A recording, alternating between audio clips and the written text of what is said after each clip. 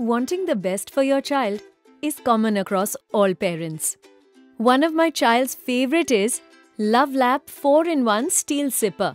The LuvLap 4-in-1 Steel Sipper comes with four different features. A feeding bottle with nipple, a sipper with spout, a sipper with weighted straw and a tumbler. So you have the feeding bottle with nipple for when they are just an infant and need to be fed at regular intervals. The nipple is soft and made of food grade silicone, so you can use this to feed your baby at all times comfortably and safely. It also has a slim neck anti-colic nipple with grooved body and a sturdy base, which prevents nipple collapse and better latch on.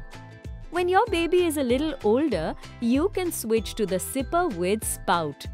As your child becomes more independent and learning to drink on their own, you can switch to the sipper with weighted straw. The weighted straw ensures that your child can drink from any angle without spilling or making a mess, which means you also won't have to worry about cleaning up after them. When your child has grown up enough to drink from a tumbler, you got this. What makes this sipper completely safe is that it is made of SS304 stainless steel, which ensures no bad odor and is very hygienic. There is a heat-resistant silicone grip. There are two different caps that are provided.